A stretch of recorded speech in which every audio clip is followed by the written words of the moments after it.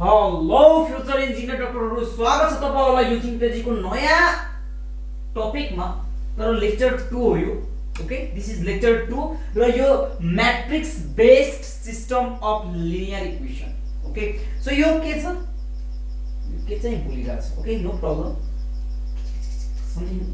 भुलिरहेको छ okay no problem तर यो च्याप्टर सेभेन हो ओके र यो भनेको थिएँ ग्रामर सुरुबाट हामी स्टार्ट गरेको छौँ। यो च्याप्टरमा तिनवटा कुरा मात्र पढ्नु पर्ने छ तर तपाईँहरूको ग्यारेन्टी चार मार्क पाकिसकेको छ इफ यो पुरै लेक्चर सिरि सिरियली हेर्नुहुन्छ भने ओके र यो जस्ट म्याथर हो ओके सो यो हेरौँ। सो एउटा मैले कन्सिडरेसन गरेको छु क्रामर्सको फर्स्ट पार्ट मैले बनाएर राखेको छु ओके र यो सेकेन्ड पार्ट हो र यसरी दिन्छ एक्स वाइ जेड भेरिएबललाई दियो भने के गर्ने त? सिम्पल छ यो पनि सिम्पल छ हेरौँ है एक्चुली म यो क्वेसन भयो जस्ट एउटा मोडल देखाउँदैछु। फर्स्टमा गर्ने के ओके मैले गर्ने तरिका बताउँदैछु what will do first okay फर्स्टमा त हामीले डी निकाल्नु पर्ने हुन्छ। एनी हाउ डी निकाल्नु पर्ने हुन्छ। त्यसपछि डिएक्स त्यसपछि डिवाई त्यसपछि डिजेड र एउटा कुरा है तपाईँलाई यहाँ चाहिँ म्याट्रिक्सको डिटर्मिनान्स निकाल्न चाहिँ आउनुपर्ने हुन्छ। जसरी पनि आउनुपर्ने हुन्छ I will teach you now okay so हेर्नुहोस् त डीमा डीमा मैले के भनेको छु? जहिले पनि यसको भेरिएबल अगाडि अगाडि अगाडि अगाडि अगाडि अगाडि अगाडि अगाडि अगाडि। यो तिनवटाको कफिसियन्ट लेख्नुपर्ने हुन्छ यो पछाडिको के लेख्ने। तरिका यही बुझ्ने हो के? तरिका यही बुझ्ने हो सबै कुरा प्रश्न बुझाइदिन्छु त्यसपछि क्वेसन गराउँछु यहाँ हेर्नु मजाले। सो फर्स्टमा के गर्ने? यहाँ ए वान हुन्छ बी वान हुन्छ सी वान हुन्छ। ए टू हुन्छ बी टू हुन्छ सी टू हुन्छ ए थ्री हुन्छ बी थ्री हुन्छ र सी थ्री हुन्छ। यो यसरी भयो। यहाँ पनि सेम लेख्ने। यहाँ पनि लेख्न सेम लेख्ने हो।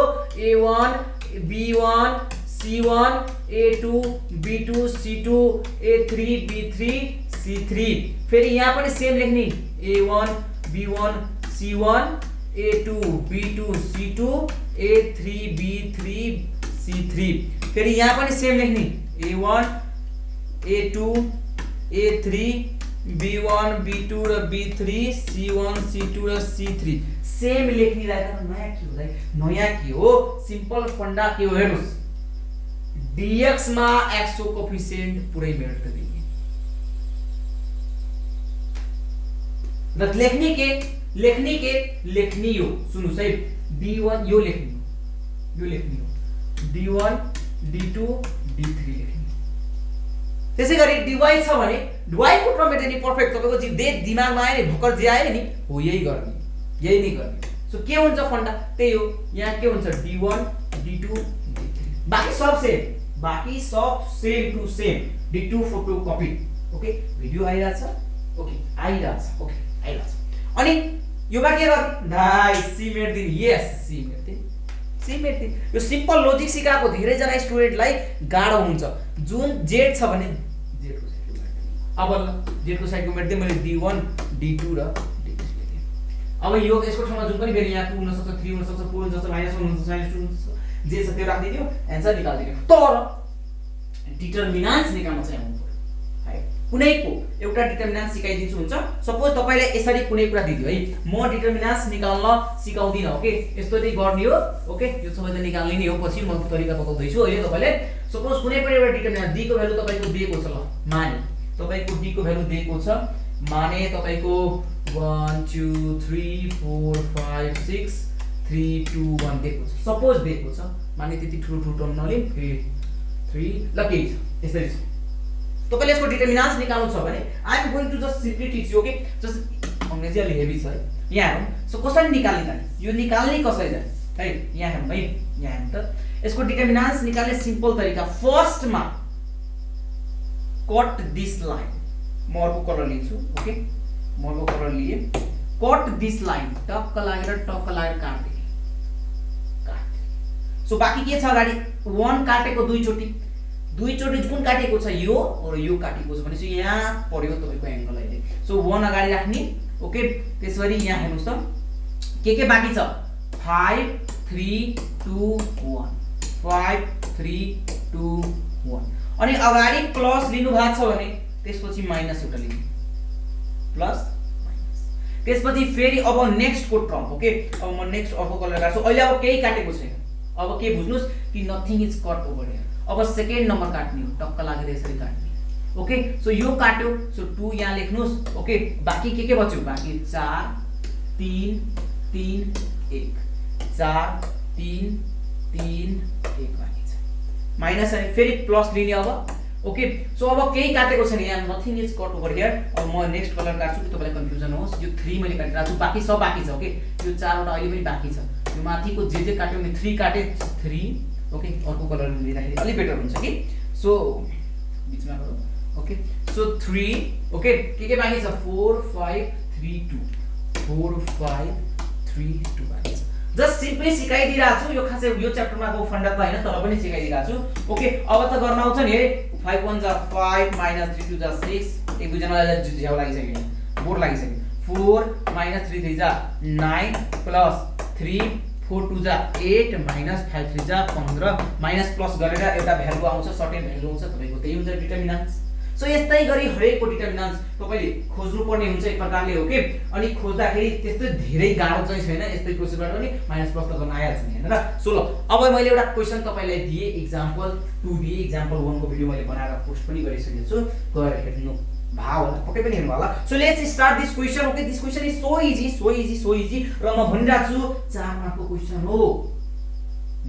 चार मार्कको क्वेसन हो। Let's start so first step we need to find D so D निकाल्न कुनै कसैलाई गाह्रो हुँदैन सायद। यस कसैले गाह्रो हुँदैन राइट सिक्स वान अगाडि वान हुन्छ minus three six one minus three one पहिला यही लेख्ने हो कि three one three minus two two one four two one four यो लेख्ने सबैमा लेख्ने डी अब डिएक्स पनि लेख्ने एउटा डिएक्स पनि लेखिदेऊ डिवाई पनि लेखिदेऊ र डिजेड पनि लेखिदेऊ सबैजना लेख सबैजना जुन स्टाइलले मैले सिकाएको थिएँ त्यही स्टाइल लेख्ने बडो आफ्नो दिमाग लाउने नि होइन आफ्नो दिमाग लाउने नि होइन यु थिङ्क जेको कुनै पनि भिडियो हेर्दैछु भने टक talk we are teaching the enough content हो कि कुनै मजा गरेको नि पुरै कन्टेन्ट पढाउँछु इच इच क्वेसन गराउँछु ओके तर यहाँ एउटा प्याटर्न टाइपको मात्र क्वेसन छ सो यो सजिलो च्याप्टर छ त्यसैले एउटा एउटा क्वेसन गरेर जान्छु ओके सो लेट्स स्टार्ट बडी कप गर्नुभन्दा राम्रो काम गर्ने हो ओके सो सिक्स लेख्नुहोस् यहाँ one minus three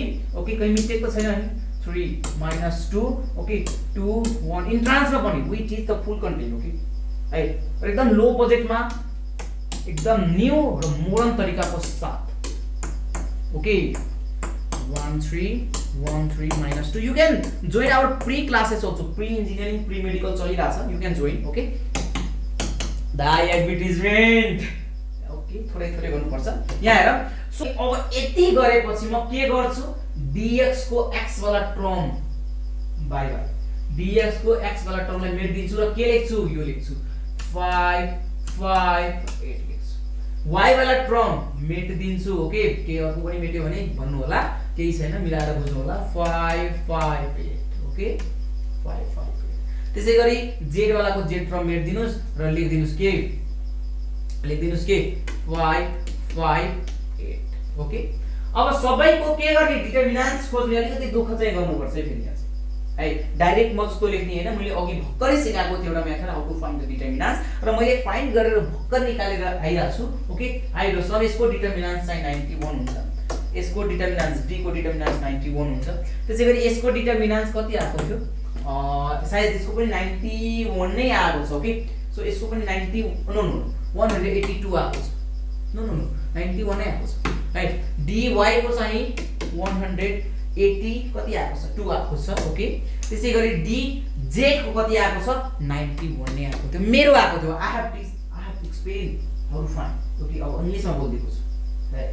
So you know the how to find this okay so तपाईँलाई थाहा छ कसरी थाहा के अरे डिटर्मिनान्स फाइन्ड गर्ने? सो आरामले यसको डिटर्मिनान्स फाइन्ड गर्ने अलिकति लङ जान्छ किनकि चार मार्कको सवाल हो।